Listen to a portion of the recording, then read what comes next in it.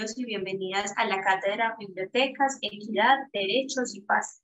Esta es una estrategia formativa de la Red Nacional de Bibliotecas Públicas de Colombia, ejecutada entre la Biblioteca Nacional de Colombia y la Universidad de Antioquia a través de su Escuela Interamericana de Bibliotecología. Tiene como propósito propiciar un espacio de reflexión, encuentro y conversación sobre la biblioteca pública en perspectiva de equidad, derechos y paz. La cátedra es un espacio público de conversación con expertas y expertos temáticos, quienes harán del diálogo un principio colectivo que sirva de base para fortalecer un circuito de comunicaciones entre todos los actores implicados en el complejo y maravilloso mundo de las bibliotecas públicas y sus funciones sociales. Este programa de formación y reflexión se desarrolla de manera anual y cuenta con la modalidad de mediación pedagógica conducente a una certificación académica de diplomado. Instituir espacios de discusión como la cátedra conlleva el reconocimiento consciente y decidido de reconocer al otro en su diferencia, de valorarlo en razón de sus argumentos y poder edificar una sociedad que nos abrigue a todas y todos por igual. El día de hoy nos acompaña Lisbeth Najera Mancilla. Ella es proveniente de México es profesional en biblioteconomía por la Escuela Nacional de Biblioteconomía y Archivonomía, EMPA. Es promotora de lectura y ha colaborado en proyectos y programas de fomento de la lectura, entre ellos como coordinadora escolar de comunidades lectoras en el programa Nosotros entre libros de IBI México. Coordina la Escuela Ilustrada y el programa de fomento a la lectura a través de los murales y el proyecto Voces Lectoras, voces que leen y que cuentan. Forma, parte del Club de Lectura ODS como líder 2022.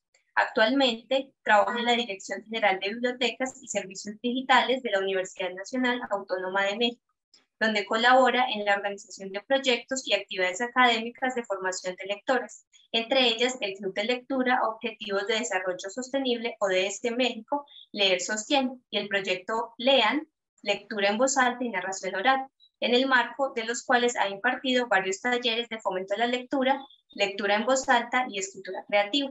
Bienvenida, Lisbeth, te escuchamos. Buenas tardes a todos y a todas. Agradezco a la Biblioteca Nacional de Colombia y a la Escuela Interamericana de Bibliotecología de la Universidad de Antioquia la invitación a la cátedra Bibliotecas, Equidad, Derechos y Paz especialmente a la doctora Natalia Duque Cardona y al maestro Andrés Sáenz por la invitación y por este espacio. Y bueno, pues compartir este momento también con la maestra Camila Restrepo y sobre todo compartir la palabra con todos ustedes. bueno, pues antes de iniciar esta charla y como toda actividad de lectura, quiero compartir una lectura de regalo con ustedes y empezamos. Se titula una caja de libros, de Valeria Davelosa, ilustrado por Natalia Guerre, editorial Superpoder. Dictadura para mí es libros perdidos. Hubo muchos libros desaparecidos. Desaparecieron bibliotecas, editoriales, editores y también muchos dueños de libros. Pero en ese entonces yo tenía cinco años y había palabras que estaban muy lejos de mí. No había en esa, mi infancia, nada que contar a los tiempos que vivíamos. Algunas noches cenábamos café con leche y sándwiches de queso. Una fiesta. Muchos años después supe que las mejores cenas de mi niñez eran inventos de unos papás que no sabían cómo alimentar cuatro hijos. A pesar de las colchas con las que me abrigaron, algo se filtró. Un ruido, un murmullo, unas voces, una sensación. Pero yo tenía cinco años y la vida era fácil y, divertida casi siempre. Para mi cumpleaños de seis llegó una caja enorme. No la podía agarrar bien y era muy pesada. Me acuerdo del cartón duro y fuerte de sus esquinas. Cuando la abrí, me deslumbré. Adentro había seis libros, tapadura, brillantes, suavecitos al tacto. Los dibujos eran raros y a lo mejor por eso me fascinaron. Disfruté mis libros, me acompañaban la mayor parte del tiempo. Mis papás me leían y mientras tanto yo aprendí a leer. Empecé primer grado Y mi libro de lecturas no era como mis libros. Me enseñaban las letras y que los papás leen el diario, las mamás cosen y los niños hacen los deberes tirados en la alfombra, frente al fuego. Mi casa no tenía alfombras ni chimenea. Mi mamá trabajaba y también leía el diario. Igual éramos una familia, aunque no hiciéramos lo que decía el libro. Leía muy bien, copiaba horrible y una vez gané un premio por mi lectura. Cuando tenía que resolver ejercicios de matemáticas decía que me dolía la cabeza. Así era yo cuando era chica. En la escuela izábamos la bandera Formábamos fila tomando distancia con los brazos tiesos y los días de acto los militares servían leche con facturas. Los uniformes me daban miedo y todavía lo hacen, aunque tuviera una chocolatada en la mano. Todavía tenía seis años cuando perdí el primer libro. Lo tuve que regalar para un cumpleaños. No había plata y mis papás me pidieron que eligiera uno. Se fue mi amigo. No me acuerdo cómo se llama la nena que se quedó con el que tiene animales en la tapa. Tampoco me acuerdo del nene que se quedó con el del diablo. No me acuerdo de ninguno de ellos. Me acuerdo de mis libros. Por suerte o porque sí, un sábado desayuné jugo de naranja viendo la tele. Me quedaba un libro, uno solo. No había tele los sábados a la mañana, pero ese día sí que hubo. Y además hubo una fiesta, papelitos de muchos colores y un señor de bigote que iba en auto mientras banderas argentinas revoloteaban por todos lados. La gente estaba contenta y al señor de bigote le gritaban, le cantaban. No entendía nada. Hacía calor y había jugo exprimido. Era el 10 de diciembre de 1983. Mis papás lloraban y a mí me quedaba solo un libro. Pasaron muchos años. Crecí. Dejé de decir que me dolía la cabeza. Todavía matemáticas sigue sin gustarme. Empecé a entender lo que nos había pasado cuando yo era chica. Muchas veces hablamos de esos libros, de la colección. Mis papás con culpa, yo con un recuerdo gastado. El único libro que me quedó se ahogó, se arrugó, perdió su lomo y se quedó quieto en un estante pero ahí estaba. Su presencia me recordaba a los otros, los que perdí. Ahora que soy grande, sé quiénes son los autores y quién ilustró cada libro, y por qué me parecieron raros y fascinantes los dibujos. Es tarde en la noche. Busco el nombre de la colección. Hay dos libros en venta. Cliqueo, pago, espero. Voy al correo como quien va a buscar un encargo un compromiso de trabajo. Son libros viejos, pueden ser importantes. El paquete está cerrado, pero no lo puedo abrir. Llego a casa, rompo la envoltura, tapas duras, brillantes, suaves al tacto. Veo las ilustraciones, todo, todo vuelve. El abrazo por fin llega. Por los abrazos que nos faltan una caja de libros. Y bueno, con esta lectura comenzamos esta charla y bueno, voy a compartir pantalla.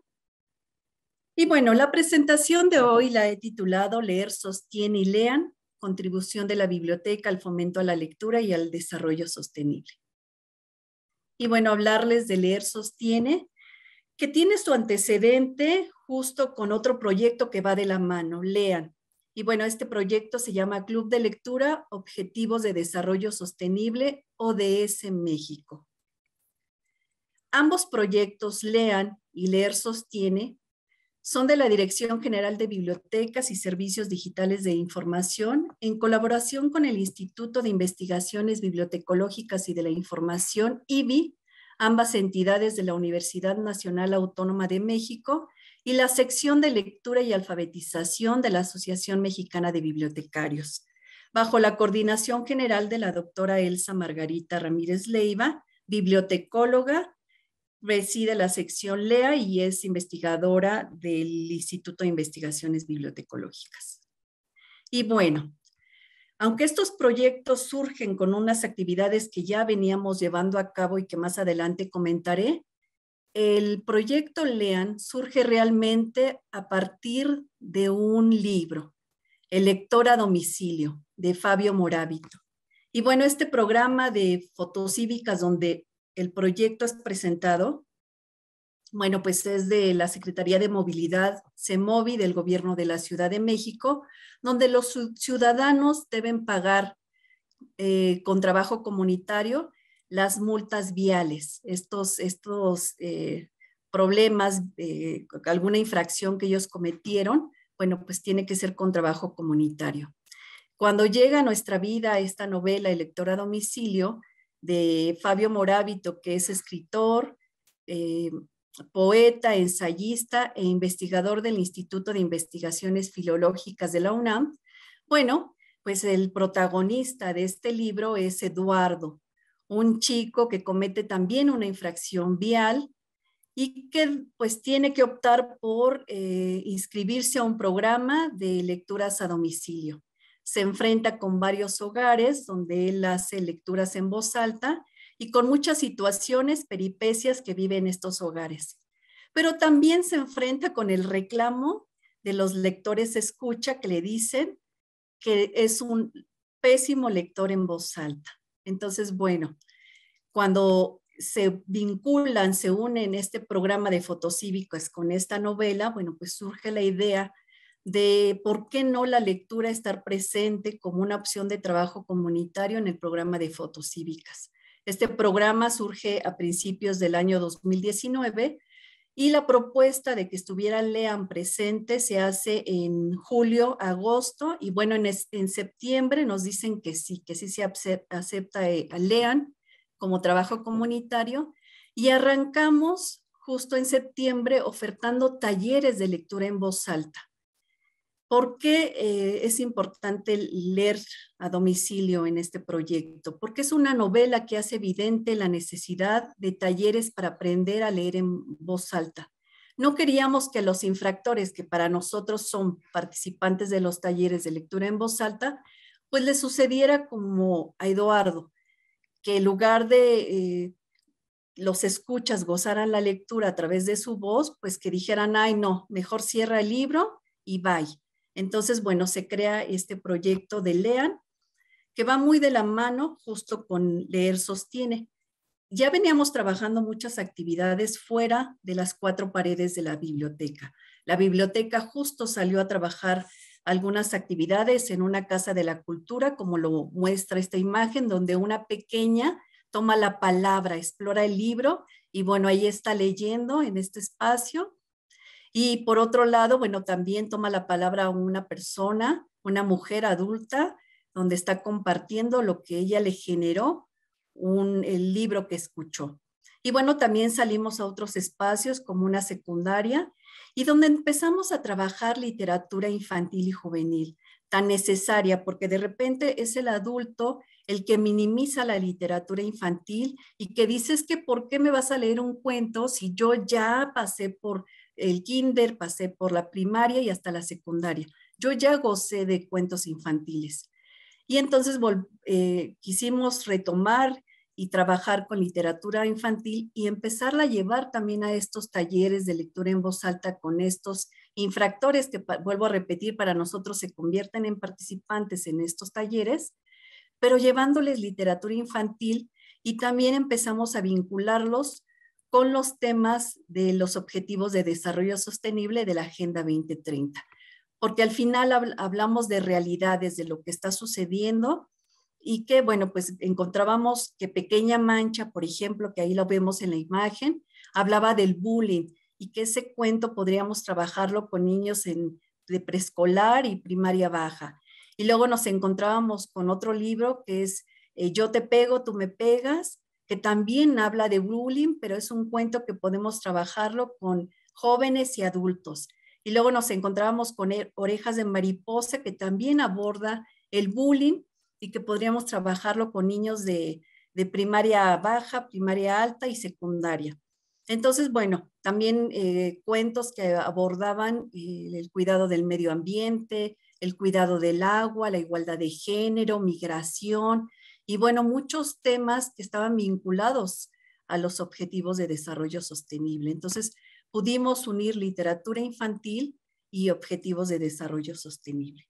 Entonces, ya teniendo además una selección de literatura infantil y juvenil y ya habiendo trabajado objetivos de desarrollo sostenible, bueno, pues seguimos emprendiendo y dándole vida a este proyecto de LEAN, en donde en los talleres empezamos a trabajar también eh, algo que ya veníamos trabajando con el club de lectura el Leer Sostiene, ya tenía un nombre, ya teníamos una idea de lo que íbamos a trabajar y se empezaron a trabajar unos separadores donde ya había guiños de la lectura, donde compartíamos frases que tenían que ver con, la, con el cuidado del, de los ecosistemas, del agua, del medio ambiente, del, de los árboles, de la paz, de la migración. Y bueno, se empezaron a trabajar de esta manera, vinculándolos con los objetivos de desarrollo sostenible y donde invitamos no solamente a leer, sino a una reflexión para cuidar nuestro planeta. Eh, también se empezaron a trabajar estos separadores con portadas del libro y donde también ya estábamos incluyendo la referencia bibliográfica de los cuentos, y bueno, estos eh, separadores iban ya, se regalaron, llegaban a, los, eh, a estos talleres de lectura en, voz alta para los participantes y también para estos espacios donde íbamos a las secundarias o a Casa de la Cultura, que es una, es, eh, una de las entidades de la UNAM, estaba visitando estos espacios.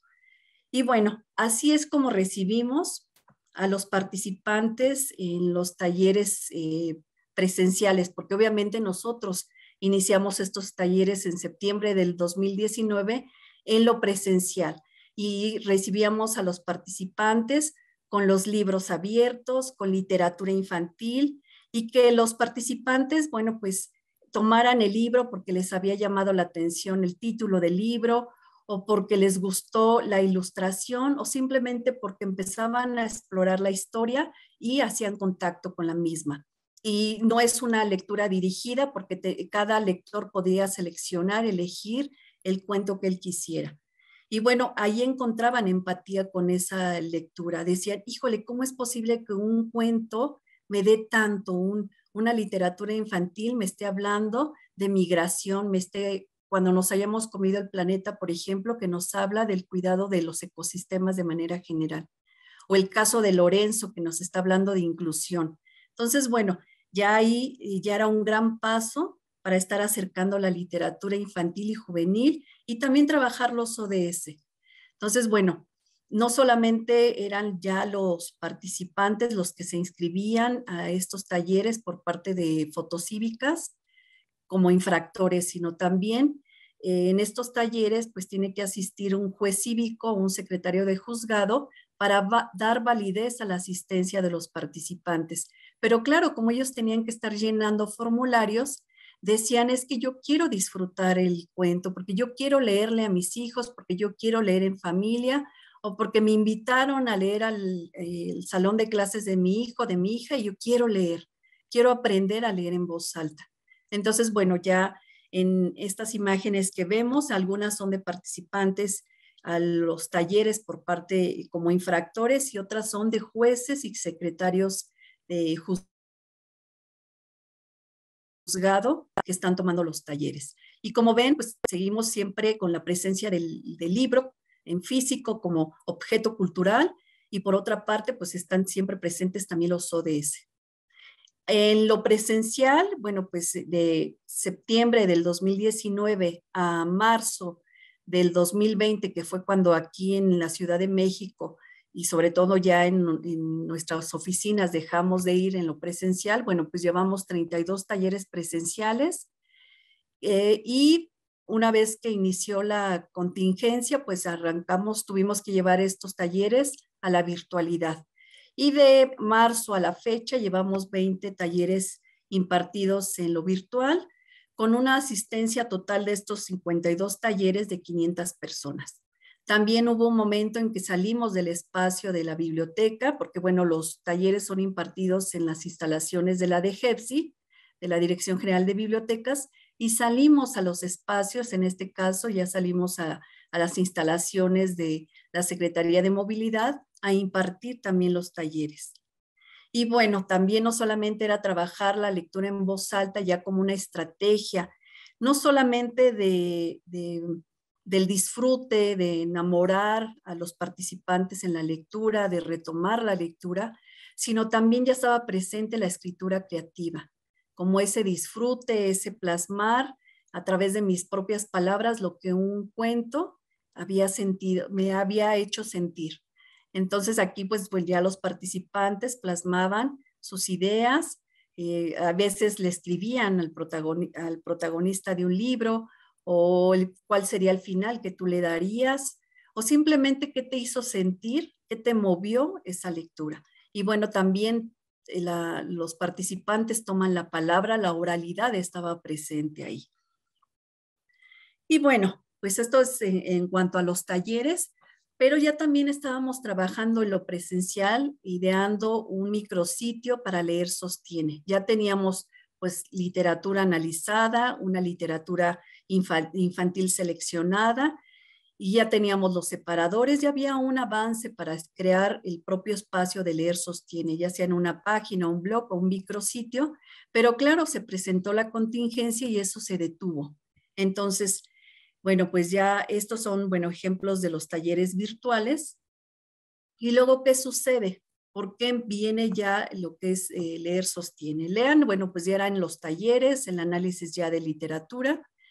¿Y cómo se crea leer sostiene? Ya teníamos una idea de un micrositio, ya teníamos los separadores que ya formaban parte de leer sostiene, pero eh, ¿qué sucedió con la, cuando inicia la pandemia? Bueno, maestros, sobre todo profesores y padres de familia con los que habíamos trabajado y con otras actividades de lectura, eh, empezaron a escribirnos por redes sociales, sobre todo un medio de comunicación que tuvimos con ellos fueron, fue el WhatsApp, en el que nos pedían eh, lecturas, sobre todo los maestros que decían, eh, no tenemos material para leerles a nuestros alumnos. Recordemos también que la virtualidad hizo que pues, las aulas de lo presencial también se llevaran a estos espacios y muchos de estos maestros pues utilizaron como plataforma Zoom. Entonces no tenían en casa eh, libros para hacer su lectura de regalo en las aulas virtuales, porque también se tiene este problema las familias no están habituadas a ir conformando una biblioteca personal, una biblioteca familiar. Y bueno, estando las bibliotecas cerradas, las librerías cerradas, los libros se habían quedado en las aulas, se habían quedado en las bibliotecas, pues no se contaba con material. Entonces, ¿qué hicimos? Ya con estos eh, libros infantiles que habíamos trabajado y que afortunadamente la doctora Ramírez tenía en casa y yo tenía también me traje eh, la literatura infantil que forma parte de esta colección, tanto de este proyecto Lean como Leer Sostiene, y apoyado también de nuestras bibliotecas personales, pues empezamos a preparar lecturas en audio y con estos cuentos, y sobre todo porque a partir de la contingencia empezaron a surgir muchos cuentos de acceso abierto que hablaban del virus, que de una forma amena le explicaban al niño por qué debía eh, mantenerse en encierro, por qué debía este, tener estas medidas higiénicas de lavarse las manos seguido, que si salía por alguna situación realmente eh, urgente, tenía que usar un cubreboca. Entonces, bueno, estos, estos cuentos y los que ya teníamos, empezamos a hacer lecturas en audio, pero era la voz de la doctora Ramírez y mi voz. Y bueno, pero empezamos de todas maneras a compartirles estas lecturas en audio a los profesores y ya tenían material para hacer sus lecturas de regalo. También pues con conocidos, amistades en redes sociales, pues empezamos a compartir estos, estos audios. Pero no se podía quedar así, ya era un material que era significativo también porque pues era un acompañamiento y un apoyo también para las, para las escuelas, para los docentes, para las familias y entonces es como surgen las redes sociales de Leer Sostiene. De hecho, inicia con la fanpage, en donde ya estos cuentos empezaron a subirse a, estas redes sociales Y como a la semana, semana y media también surge el canal de YouTube, sobre todo considerando que hay muchos niños no tienen todavía el acceso, no deberían de tener acceso a las redes sociales. Y si las tienen, bueno, siempre tener que estar supervisadas por, la, por los padres de familia. Entonces empezaron a subir todos estos cuentos pero también algo interesante es que, eh, que no solamente fuera una o dos, veces, dos voces las que estuvieran enriqueciendo este, este espacio, teníamos que sumar otras voces lectoras. Y sobre todo porque el objetivo de este espacio, aunque inicia en un contexto universitario, porque estamos hablando de proyectos que son a nivel universidad, bueno, era un espacio realmente virtual de lectura dirigido a toda la comunidad comunidad infantil, para jóvenes, adultos y adultos mayores. Y sobre todo como un acompañamiento en tiempos de contingencia, ofreciendo solidaridad, esparcimiento y, por qué no, también aprendizaje. Entonces, bueno, pues empieza a fomentar el gusto por la lectura a través de Leer Sostiene, se incorporan y difunden los objetivos de desarrollo sostenible que ya veníamos trabajando como una contribución para formar una ciudadanía más comprometida con el desarrollo sostenible mundial. No nada más dejarlo en lo local, en lo nacional, sino ya también llevarlo de manera mundial para cuidar nuestro planeta. Y bueno, que invitar a estas lecturas a la reflexión, no solamente a leer, sino también a reflexionar y a cambiar eh, las actitudes en torno a los temas de los 17 Objetivos de Desarrollo Sostenible. Y esto qué mejor que a través de los libros. Esto, eh, esto lo menciono mucho en el cambio de actitudes porque justo los participantes a los talleres de lectura en voz alta con el programa de fotocívica sí hacían conciencia de decir es que debo de cuidar mucho la manera en que manejo, eh, estar leyendo siempre las, los letreros, el leer el semáforo, porque todo leemos. Entonces, ellos, aunque llegaban como Eduardo muy molestos a hacer este tipo de actividades de lectura en voz alta, y nos sucedió con, con los participantes a los talleres, los infractores sobre todo, que llegaban muy molestos a los talleres, después se iban con otra mirada, con otra actitud. Y bueno, entre los alcances y logros, que, digamos, que no es lo más importante, pero sí eh, yo quiero resaltar algo mm, sumamente importante, que es las voces que le dan vida a este proyecto. Bueno, el club cumplió ya un año, el 14 de abril del 2001, que lo celebramos leyendo. A estas fechas, bueno, ya Leer Sostiene tiene año y medio y cuenta con 400 lecturas en voz alta, en audio, porque recordemos que los docentes, las familias no tenían libros eh, en físico. Pero ya que eh, pues la, pandemia o la situación eh, pasó a semáforo verde, bueno, pues ya entonces empezaron a aperturarse algunas bibliotecas, algunas librerías, y ya las familias, los docentes podrían acercarse a una librería, a una biblioteca, a contar con algún libro. Entonces ya se empezaron a incluir también en Leer Sostiene lecturas en video porque también es importante que los lectores escucha empiecen a conocer los rostros de esas voces que le han dado vida a leer sostiene. Y bueno, esto es lo que quiero resaltar. La, el leer sostiene lo enriquecen todos. Aquí no es que es un proyecto donde participan dos personas, sino este proyecto le han dado vida 130 eh, lectores voluntarios a la fecha. Son niños, jóvenes, adultos, eh, personas adultas mayores, estudiantes en, este, pues este, grupo de personas, pues bueno, hay estudiantes de nivel preescolar hasta posgrado. De hecho, hay un pequeño, Pavel, que aprendió a leer en, en tiempos de pandemia y bueno, ya está en leer, sostiene su lectura.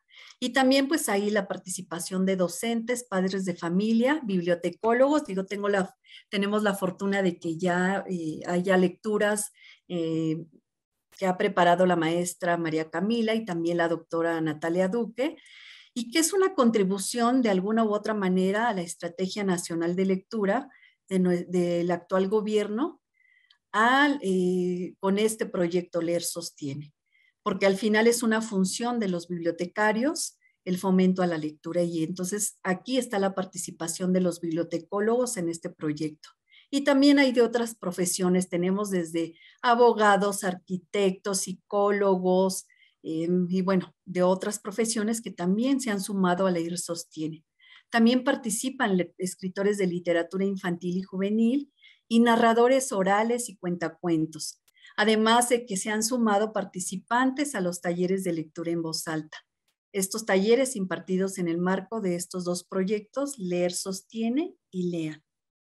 Y lo que se ha logrado en este eh, proyecto es los vínculos familiares, no solamente el acompañamiento tan necesario en estos tiempos, sino también se pudieron crear o fortalecer los vínculos familiares, porque los participantes, y los que están eh, preparando las lecturas, pues lo hacían en familia. En, en el caso, por ejemplo, de Pavel, le leía a su hermanita, le leía a la mamá, para ver cómo estaba leyendo y de alguna u otra manera empezaban a comentar la lectura preparada. Eh, tenemos varias anécdotas de cómo eh, compartían la lectura en familia, en el desayuno, en la cena, apagaban otros, o, no distractores, porque al final eh, hay otros medios que también eran necesarios, pero se desconectaban de la tecnología, se desconectaban de otros recursos para disfrutar en ese momento de la lectura, como una forma también de unir a la familia y de fortalecer estos lazos familiares.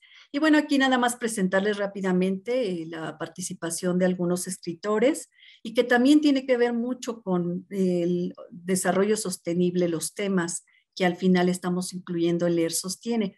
Tenemos, por ejemplo, Alicia Molina, que en su literatura aborda mucho la inclusión. Entonces ella participó ya con la lectura de uno de sus libros.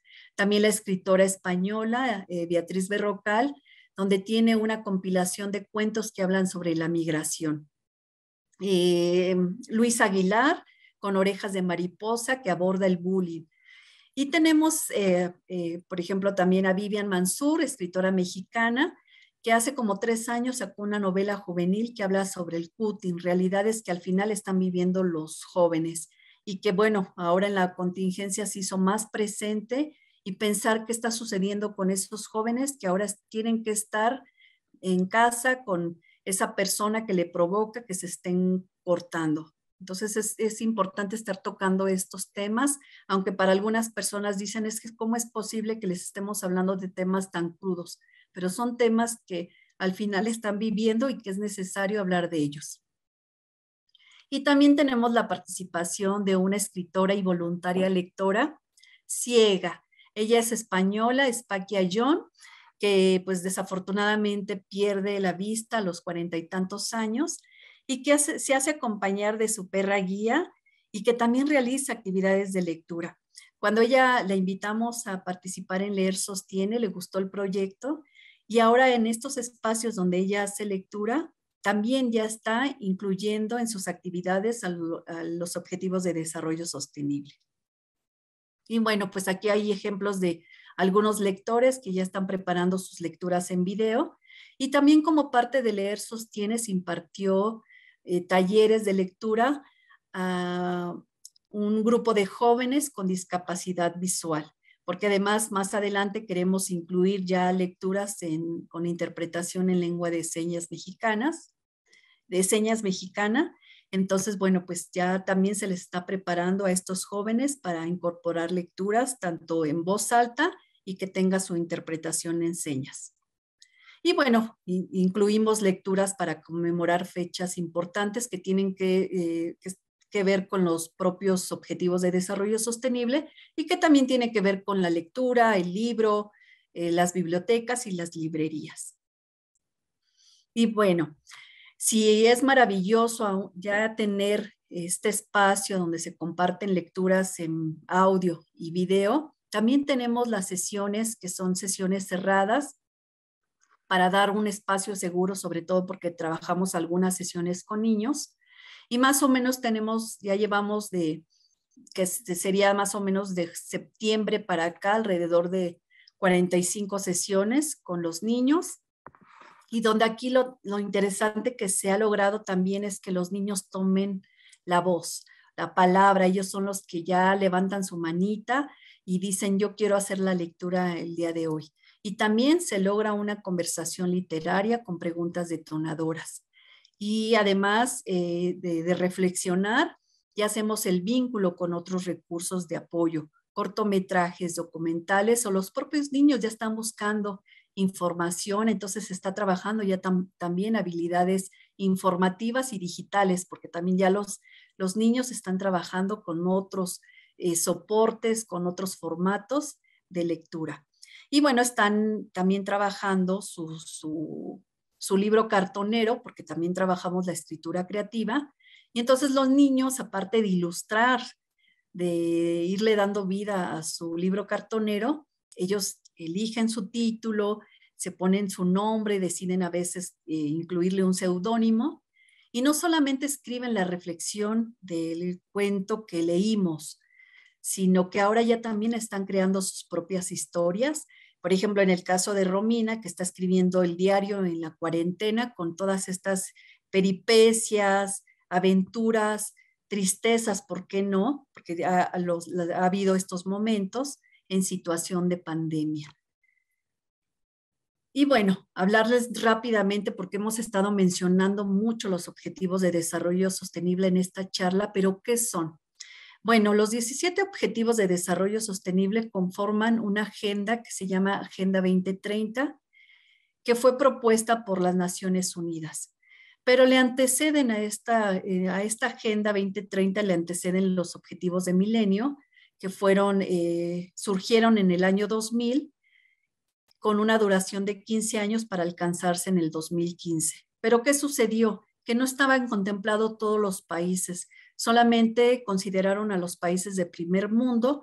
Entonces, esta primera, estos objetivos del milenio no lograron sus objetivos.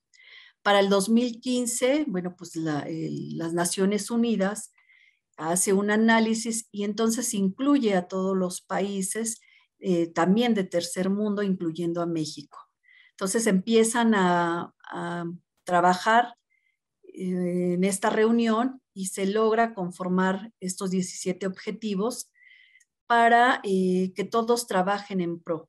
Entonces son estos 17 objetivos que es fin de la pobreza, hambre cero, salud y bienestar, educación de calidad, igualdad de género, agua limpia y saneamiento, energía asequible, trabajo decente y crecimiento económico, etcétera pero que tiene que ver con realidades, con cosas que estamos viviendo. Por ejemplo, el objetivo 3, salud y bienestar, no nada más es en cuestión de, enfermedades, de cómo está nuestra salud, sino también tiene que ver con la salud emocional, que al final nos tocó muchísimo la pandemia este objetivo. la, enfermedad, porque pues estuvo presente, está presente aún el virus, y por otra parte, pues también estábamos afectados en la, en la cuestión este, la salud mental, cómo nos sentíamos, cómo este encierro también nos lastimó, nos entristeció. Y bueno, la idea con esto, esta Agenda 2030 es que se trabaje en pro de las personas, se trabaje en pro de cuidar nuestro planeta y la economía, sin que uno, uno de estos, cada uno de estos tres niveles eh, esté perjudicando al otro. Siempre tienen que ir de la mano estos tres. O sea, yo no puedo trabajar en pro de las personas si estoy lastimando el planeta o puedo dar mayor énfasis a la economía cuando el planeta se está afectando cada día más.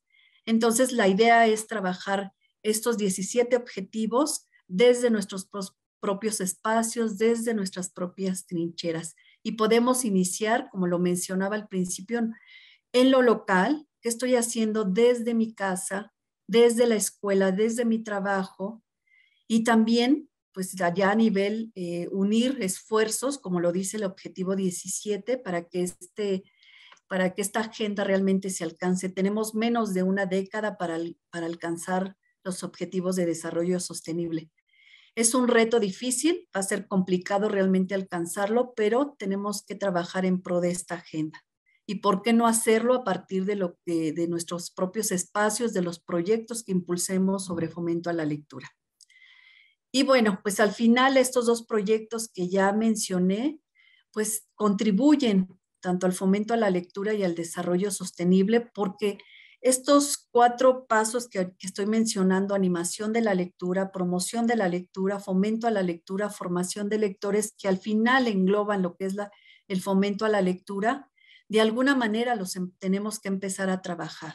Formación de lectores es cuando yo tengo un proyecto que dura más de seis meses, que yo siempre lo llevo más de un año, y donde yo estoy en continuo acercamiento con mi comunidad, y esto lo trabajamos en círculos o clubes de lectura como Leer Sostiene, donde siempre está presente eh, los libros, pero también está presente lo más importante que es la comunidad.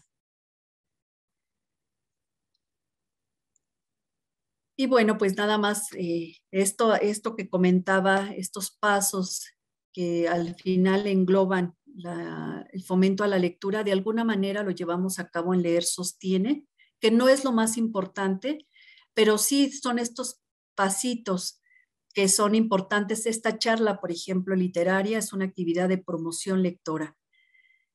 Eh, y donde además aquí eh, nos interesa mucho la participación de estos, eh, estas otras voces que le dan vida a leer sostiene. No nada más es que siempre los coordinadores de este proyecto estén presentes, son los que den la cara hacia las actividades, sino incluimos la participación de niños porque son los que deben de tomar la palabra, de jóvenes que estén presentes en estos espacios donde estén hablando de lo que la lectura ha dejado en ellos. Y bueno, eh, ya eh, Leer Sostiene ha tenido la participación en ferias de libro, en encuentros bibliotecarios, en la semana bibliotecaria, y en espacios donde los que están tomando la palabra son los lectores, los que le dan vida. Entonces, bueno, pues yo quiero cerrar. Voy a dejar de compartir pantalla para mencionarles pues de lo, enriquecedor que ha dejado leer sostiene ha sido precisamente esto de que la comunidad es la que toma la palabra, la comunidad es la que le da vida justo a estos espacios y bueno, voy a cerrar rápidamente mi intervención con un poema e invitarlos a escribir en el chat, así como estas actividades donde no nada más es la lectura, arrojarla, sino hacemos una charla enriquecedora con preguntas detonadoras. Y les voy a pedir que nos escriban en el chat, que nos compartan en los comentarios qué les hizo sentir este poema, qué les movió, qué imágenes vinieron a ustedes, qué surgieron en ustedes ¿Qué pasa con esas palabras en ustedes? Y dice así, Cúrate, mijita, de María Sabina, poetisa mazateca, Oaxaca, México. Cúrate, mijita, con la luz del sol y los rayos de la luna, con el sonido del río y la cascada, con el vaivén del mar y el aleteo de las alas. Cúrate, mijita, con las hojas de la menta y la hierbabuena, con el nib y el eucalipto. Endúlzate con lavanda, romero y manzanilla. Abrázate con el grano de cacao y un toque de canela. Ponle amor al té en lugar de azúcar y tómalo mirando las estrellas. Cúrate, mijita, con los besos que te da el viento y los abrazos de la lluvia. Hazte fuerte con los pies descalzos en la tierra y con todo lo que de ella nace. Vuélvete cada día más lista haciendo caso a tu intuición, mirando el mundo con el ojito de tu frente. Salta, baila, canta para que vivas más feliz. Cúrate, mijita, con amor bonito y recuerda siempre, tú eres la medicina. Y bueno, muchísimas gracias. Gracias, maestra Camila. Con este poema cierro mi intervención contaste de dos experiencias muy significativas sobre lectura que para nuestros bibliotecarios son novedosas porque el trabajo que tú haces se hace desde una biblioteca universitaria. Y ese trabajo ha implicado que se haga desde la biblioteca universitaria, pero que no tenga ninguna eh, restricción de público. No es la comunidad universitaria, son todos los posibles lectores y lectoras que puedan llegar a este proyecto cuál ha sido la respuesta de esos eh, lectores. Porque en la contingencia, digamos que la capacidad era el equipo, pero ahorita los lectores del club de lectura son eh, de todos los tipos y de todas las procedencias.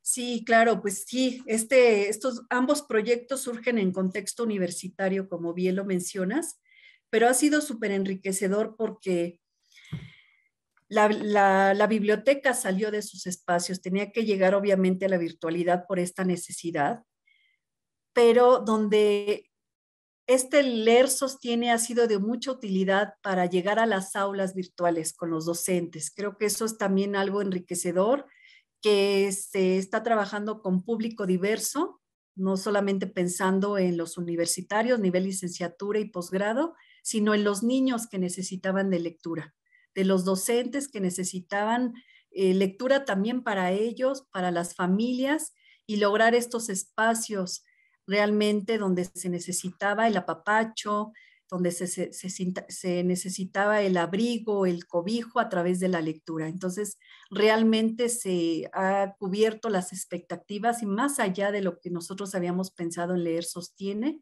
porque se siguen sumando nuevas voces, porque escuchan al otro.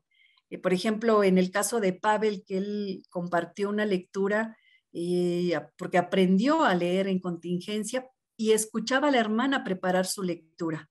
Entonces él decía, yo quiero estar en leer sostiene. Entonces también el hecho de que Natalia, por ejemplo, que es una, una pequeña, una jovencita de secundaria, leyera en presencia de su hermano, lo inspiró también para seguir para aprender a leer y para ya preparar su lectura. Entonces ha sido mucho lo que se ha logrado porque además también participan adultos mayores. En estos talleres de lectura en voz alta Justo nos hemos percatado y hace dos semanas que impartí un taller, estaban dos adultos mayores y los demás eran adultos, eh, habían dos jóvenes, pero sobre todo me llamó mucho la atención los comentarios de los dos adultos mayores, que dice, después de haber escuchado tu lectura y ahora que tú nos das la palabra, encuentro un espacio para expresar lo que yo siento.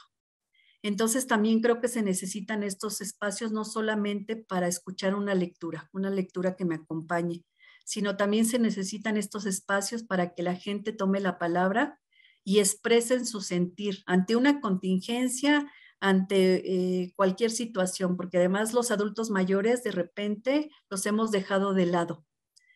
Los hemos dejado de lado y a veces eh, está la crítica en cuanto a que no, no saben de tecnología, pero al final eh, los adultos y los jóvenes que estuvieron en este taller con la participación de estos adultos mayores se llevaron mucho.